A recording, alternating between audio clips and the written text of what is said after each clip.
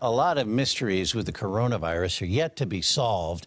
Not only what treatment really works, but why some people are getting sicker than others, even healthy people. Why? Well, that's a good question.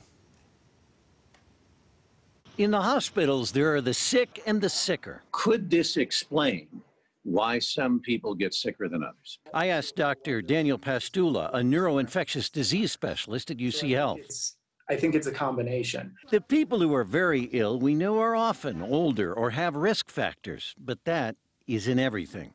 Dr. Pastula notes there are two parts of the immune system the innate and the adaptive, and they go to war with viruses. Imagine your base or city is getting attacked. The innate immune system is kind of a non-specific warning system that essentially says, hey, we're getting attacked, all defenses up. That's what makes you feel sick, the fever and fatigue. The adaptive immune system is basically a highly um, specialized group of fighters that are trained to attack and kill a specific virus. But it needs time to arrive at the battle.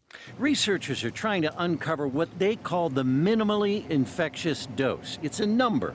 Get fewer, and your body beats it back. Get more, get infected. The higher the viral dose you initially get, we do think there's probably a correlation with whether you develop symptoms or not and how severe those symptoms are. But protect yourself with social distancing and cleaning, and you're likely better off. And that's what we have control over, and that's what we can do.